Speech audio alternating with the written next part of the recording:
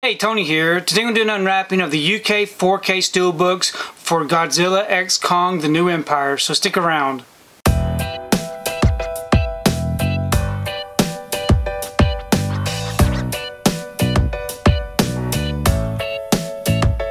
So today I wanted to take time to do an unwrapping of two of the UK Steelbooks um, for Godzilla X Kong The New Empire.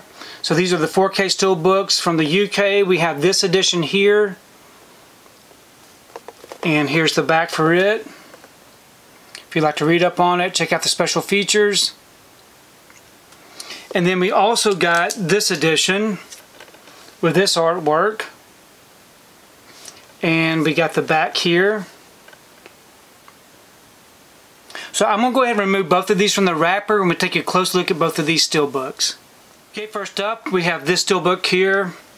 Great looking artwork. It is a lightly glossed steelbook, no embossing or debossing. And then we have the back. So we open this one up. We have our front and back together. So really nice continuation. I love the artwork there.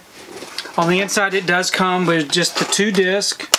So we have our 4K disc here in orange with Kong on it. And we have our Blu-ray disc all in blue.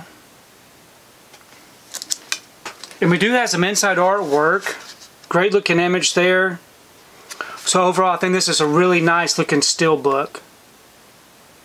Okay, next up we have this white looking still steelbook.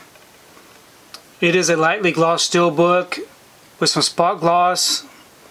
A really nice looking image there. There's no embossing or debossing.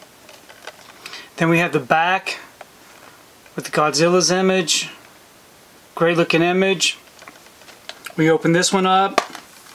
We have our front and back together. So another really nice looking steel book. We have the same two discs in this one. The orange disc here with Kong on it. And the Blu-ray disc all in blue. And we have some inside artwork that's different.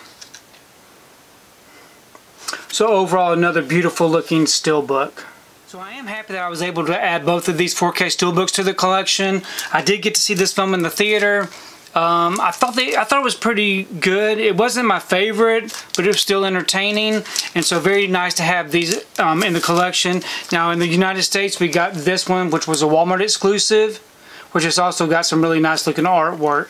Please leave me a comment below. Let me know what you think about these particular steelbook unwrappings and also let me know your thoughts on Godzilla X Kong The New Empire because I really do enjoy reading your comments. But thanks for taking the time to watch this video and we will see you next time.